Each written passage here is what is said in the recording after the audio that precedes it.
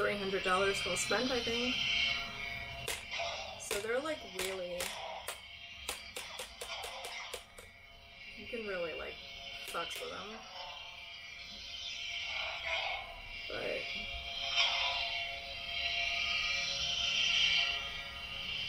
Can't get that up for you, can I? Sorry, Sybil.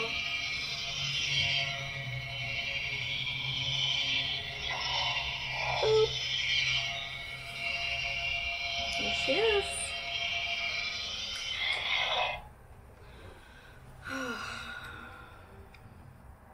It's what I like to call investment banking.